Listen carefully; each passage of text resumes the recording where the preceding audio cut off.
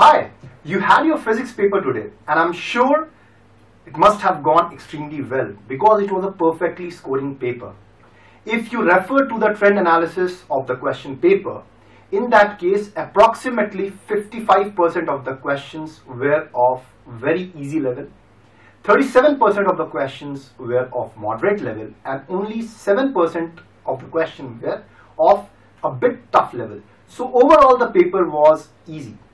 Now, if you had referred to the NCERT text, in that case, the examination would have been a very pleasant experience.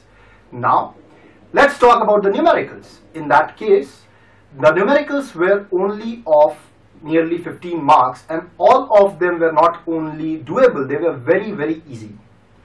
All the five sections were poised and if you refer to the long answer question, in that case there was a bit of deviation. The two long answers were from current electricity and EMI AC, contrary to magnetic effect of current and magnetism and electronic devices.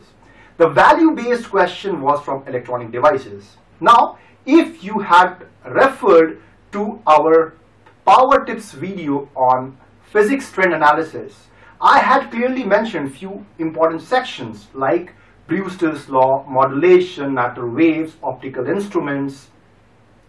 So you must have seen that they were present in today's paper. So it makes it imperative that you refer to other power tips video for other subjects with reference to your upcoming examination. Now if you want to refer to the detailed solution of the question paper, you can refer to our website. The link is provided below. So wish you all the best for your upcoming examination.